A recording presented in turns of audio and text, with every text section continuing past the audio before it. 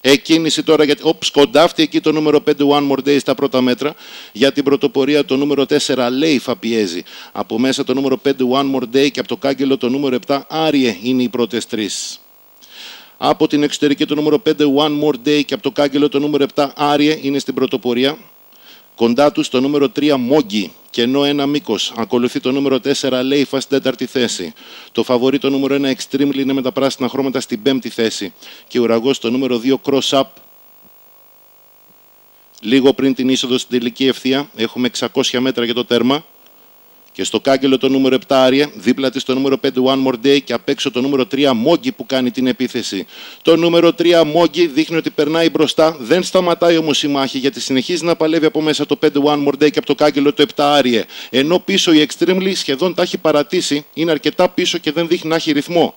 Μάχη με το νούμερο 3 Μόγκη και το νούμερο 7 Άρια. Ενώ πιο πίσω όχι πολύ μακριά τους. Το νούμερο 5 One More Day παλεύει και αυτή.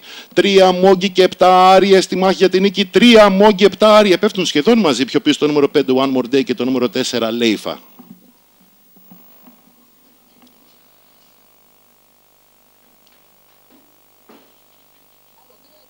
Μόγκη. Έχω την εντύπωση φώτη. Το 3, 7, 5, 4. 3, 7, 5, 4. Εκτός άφηξης το μεγάλο φαβορή Extremely και επιβεβαιώνει η Μόγκη ότι είναι ιδιαίτερα ποιοτική.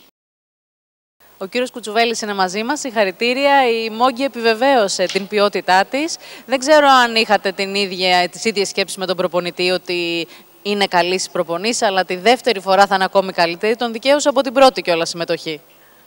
Οπωσδήποτε είχα την ίδια εντύπωση και αν έχει δει κάποιες κούρσει που έχει κάνει στο εξωτερικό, ήταν πολύ ελπιδοφόρα.